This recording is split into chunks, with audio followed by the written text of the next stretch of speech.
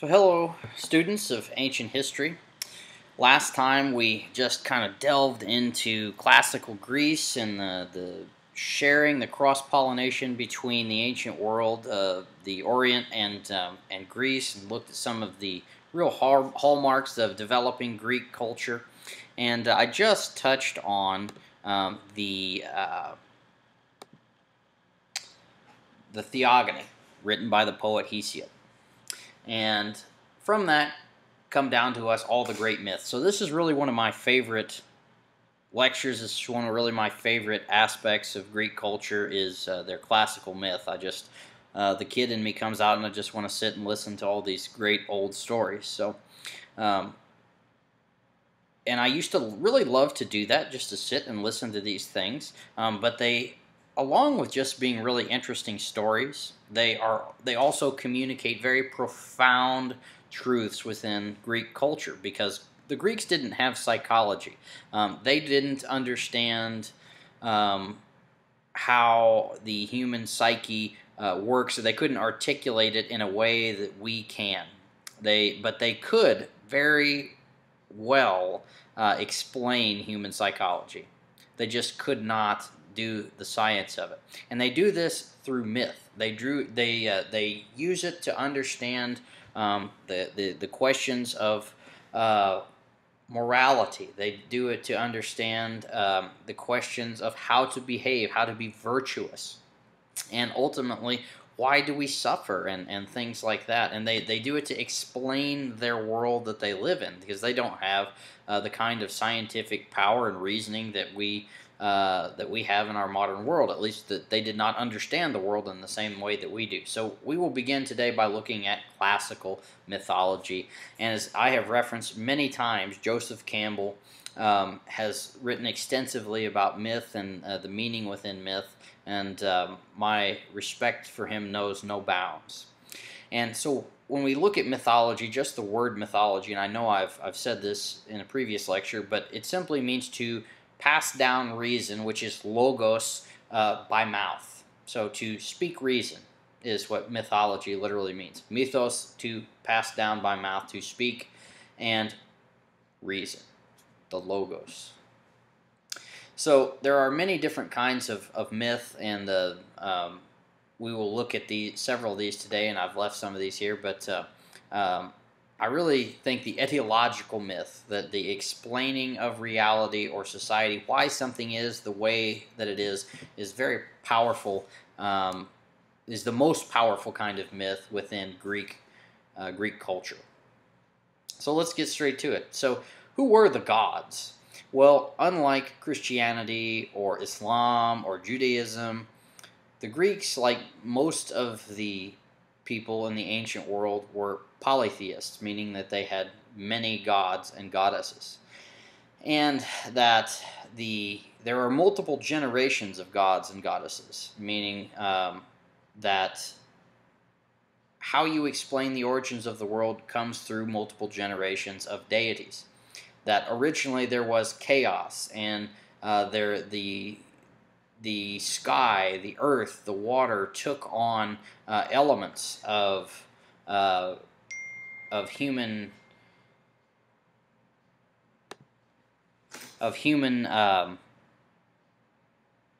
understanding, and that procreation happened between sky and earth, and therefore the Titans came about. And then from the Titans came the gods that we know as the true Olympian deities, those 12 great figures that lived up on Mount Olympus and ruled over the Greek world, the Zeus being the king of the gods. And we will get to go through a few of their stories today, and um, we will recount many of the things that are within the Theogony. As I said, we have the elements, the animistic elements of sky and water and earth and land through Uranus, sky, and Gaia, earth, which bring us the Titans. And Kronos was being the greatest of the Titans, and he overthrew his father Uranus and became the uh, the ruler of the world, only to uh, be married to his sister Rhea. And he then devoured his own children that they had together in, because he feared being overthrown so much as he himself had overthrown. And wouldn't you know it, um, he is tricked by his wife and he uh, is given a stone instead of baby Zeus, and baby Zeus ends up um, growing up and overthrowing his father. So Zeus becomes the king of the Olympian gods. And he is the greatest and most powerful of the gods, and he uses the uh, the weapon of the thunderbolt. That that is a symbol of Zeus, and there's the great temple to Zeus um, in uh, in Olympia. Oh, and I should say something. One of the uh, the children of uh, of Zeus is actually uh, Athena, which is the goddess of wisdom, who springs out fully grown out of um, his head because there was an oracle that Zeus would be defeated by the child of one of the uh, of the of the Graces, which is a, of Thetis, and so therefore Zeus cuts open his own leg and he puts her in there. And uh, sure enough, after a while, uh, with the help of Hephaestus, his son, uh, he has this terrible headache, and uh, Hephaestus takes his uh, takes his axe there and, and uh, hits Zeus on the head, pops open, and out uh, out comes Athena, fully formed, who is the goddess of wisdom. So from enormous, or I think the, the the the deeper myth within this is that Zeus, representing absolute power, um, you must have great wisdom come out of absolute power. To have great power requires great wisdom. In order to wield great power, it means that you need to have great wisdom. And also, his daughter Athena, she wears a key around his neck, or around her neck. And that is the key to the chamber where Zeus keeps his thunderbolts. So, through wisdom comes great power. So, the ultimate weapon in the universe to the Greeks was the thunderbolt, and through wisdom you get this great power. So Zeus can't get his thunderbolts without her help.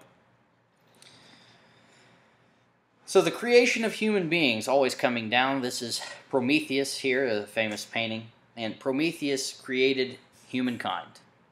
He formed them out of the clay, and he gave them life, and he gave them fire. And Zeus feared humankind. And so Zeus took away the fire, and Prometheus gave it back. Prometheus was a titan. And he taught them how to, he taught them knowledge and wisdom and how to, how to build things. And therefore Zeus imprisoned him because Prometheus defied Zeus. And every day Prometheus has to suffer by having his liver eaten out, and of course it regenerates because he's an immortal god and cannot die. Um, it regenerates, but he must endure this suffering every day from his chain, his prison where he's chained on a mountain. And um, this goes to show the suffering figure that a God sacrificed his own uh, free will, that he sacrifices his own happiness in order uh, for humankind to live. And this is a theme that we see in, in uh, several religions, including Christianity. So, Zeus to get back at man. I say I, uh, Prometheus only created males, and Zeus, to get back at males, creates Pandora, which is the first woman, and he sends them sends her down, and of course all the males are very uh, enamored by her, and then Zeus says, "Now I'm going to give you this box to take down there to uh, to Earth, and don't open it, whatever you do." And he puts in there all the bad things uh, in the world uh, disease, plague, famine.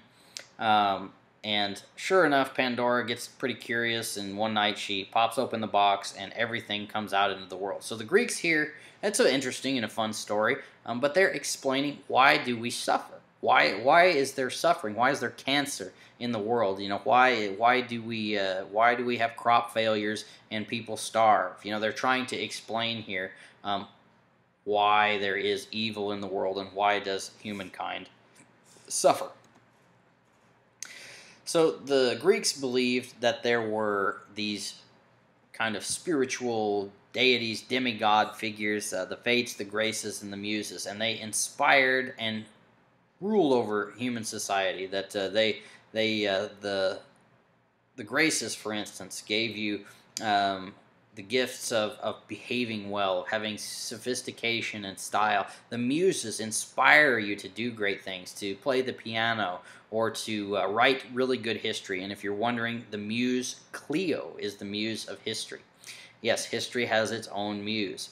Um, so if you are feeling inspired to do something, perhaps one of the muses invisible to you is singing in your ear. And of course, the fates usually depicted as three older women, um, ruled over um, all things, that they decided the fate of all human beings. And the queen of the gods, Hera, um, she was um, renowned for kind of her jealousy and anger against Zeus, and Zeus is very renowned um, for his his uh, promiscuity and Zeus would frequently go to uh, mortal women in, in the guise of various animals, uh, such as uh, Leda and the swan. Here, Zeus, of course, is this uh, is this swan, and he would uh, you know he would uh, produce these. He would have sex with them, swoon them, and he would um, um, they would would produce these great heroes, such as as Hercules.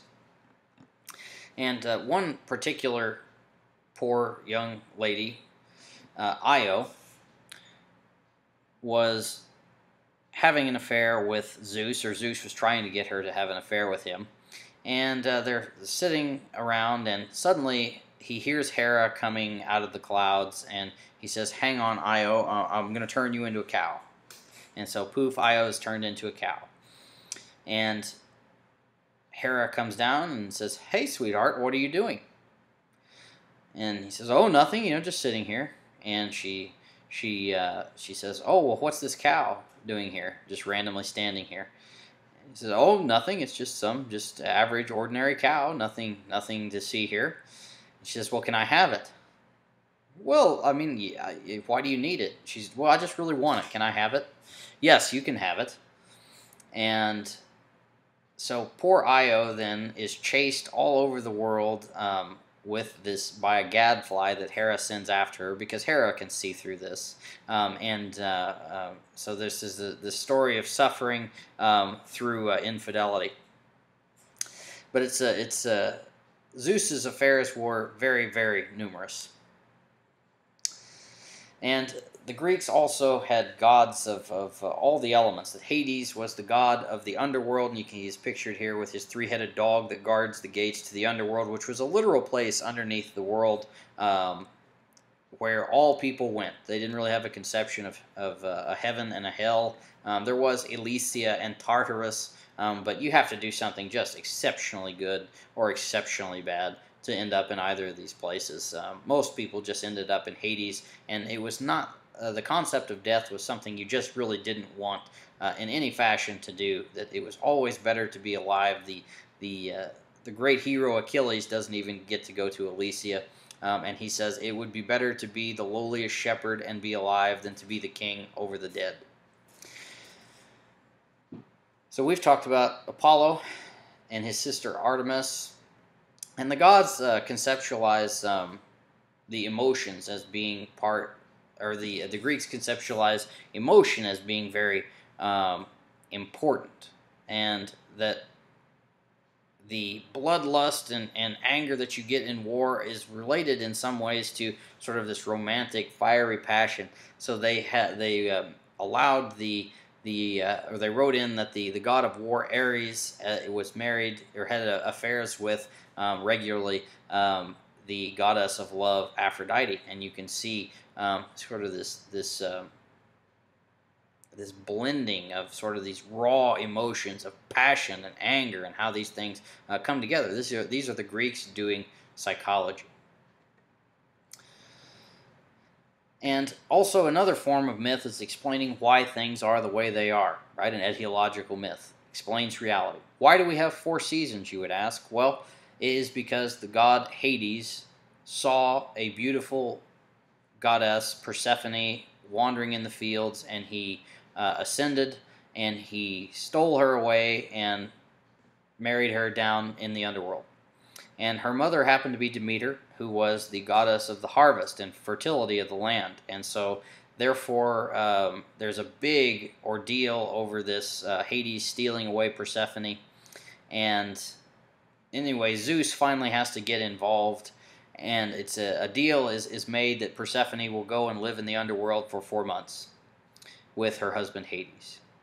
And that the rest of the time or excuse me, six months she will go and live with Hades, and six months she will live with her mother on Earth.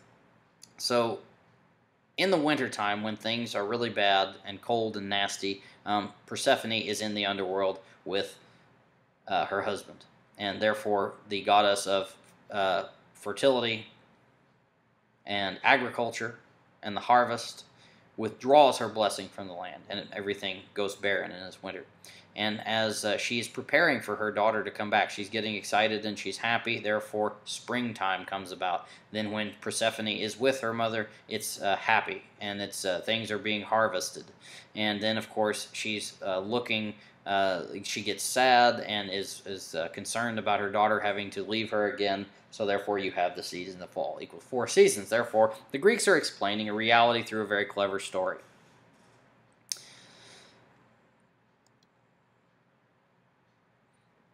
And one of my favorite god here is, is uh, Dionysius, uh, the uh, the wine of or the god of uh, of good times, and wine, and he is um, the personification of sort of this this madness that comes over someone. That if when you drink too much, um, you change into something else, and and Dionysius is this very um, transformative God that he's violently passionate one time and, and not another. So he's it's uh, again Dionysius is and his followers were uh, um, part of this this uh, trying attempt to understand the madness that comes over you at times and uh, when you are when you are out of your mind. How do you deal with insanity? There again, there are many mortal heroes such as uh, Perseus, who defeats the great Gorgon Medusa, cuts off her head. It's a very, it's a very clever story. I just don't have time to tell all these. Um, every great culture um, has a strong man legend, basically. Uh, Samson in, in, the Jewish uh, uh, religion, you have uh, Gilgamesh in, in, the ancient Near East, and you have Hercules or Heracles um, in uh, in the the Greek legends and he does these great labors because um, he is this this powerful, great greatest of all men. He's half god, son of Zeus, um, and he's forced to do all these labors because he occasionally gets mad and kills people he shouldn't, and occasionally his family, and this is his punishment. All of these twelve labors that are virtually impossible to do. Well, Hercules does them all, um, and uh, but he constantly finds himself getting into trouble and almost always it's on account of a woman um, and, and, womanly uh, guile and wisdom that it brings down the strong man. You know, Samson is destroyed by Delilah, and uh, and Hercules is destroyed by his own lover because of her jealousy. So it's uh, uh usually it shows that even the greatest man, right? I think I think there's some deep psycholo- psychology here um, that uh, even the greatest man can be brought down by a woman.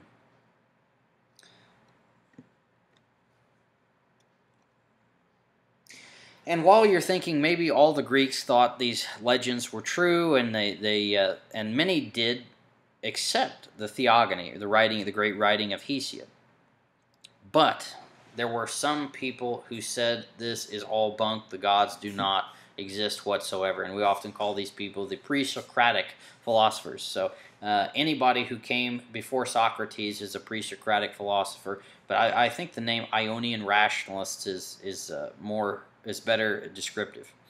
And they come from the Isle of Ionia, Iona, which is near uh, present-day Turkey or Anatolia in the ancient world, um, and they rejected completely, as I say, the gods and the theogony and everything that comes out of this, and uh, they sought rather to understand the world through rationality that mankind can explore, can understand um, why the world works the way it does through science. Um, and therefore, they, they didn't totally reject any kind of divine uh, elements within the world, as did some of the Enlightenment thinkers, really the radical Enlightenment thinkers. Um, but rather, they, they sought to explain things more thoroughly. That they believed that there was a, a divine spark or presence of some kind of a creation, um, but after that creation, um, there are much better ways that uh, you can explain the world. So here we have some kind of pre-enlightenment thinking um, as far back as uh, of the 7th uh, century BC. So those people do exist. So this is all for today, and I hope you have got your uh, got your fill here of of classical myth and uh, some of the things that are coming out of of the ancient world and why the Greeks did classical myth and how it was such a, a vital component of their own psychology and understanding of the world. So, uh, until next time, stay healthy, wealthy, and wise.